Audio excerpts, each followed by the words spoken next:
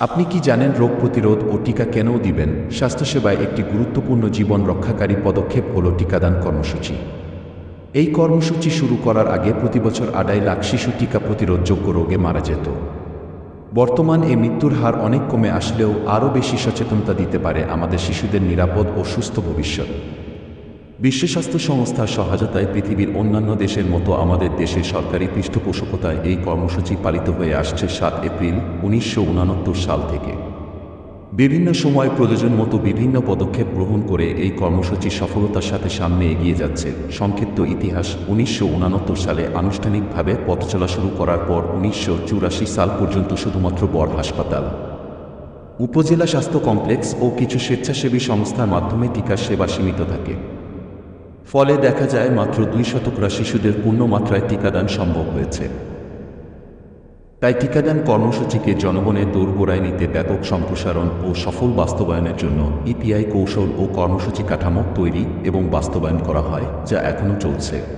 প্রতিরোধযোগ্য রোগসমূহ যক্ষা ডিপোথেরিয়া উপিন কাশি ধনুষ্টঙ্কার hepatitis B, influenza B, polio, হাম, রুবেলা। এর মধ্যে হেপাটাইটিস ও ইনফ্লুয়েঞ্জা টিকা নতুনভাবে সংযুক্ত এবং বর্তমানে শিশু মৃত্যুর প্রধান কারণ হিসেবে বিবেচিত নিউমোনিয়া রোগ প্রতিরোধে নতুন টিকা পিসিবি খুব শীঘ্রই টিকাদান কর্মসূচিতে যুক্ত হবে বলে আশা করা হচ্ছে। প্রতিরোধযোগ্য রোগসমূহের ভয়াবহতা এক।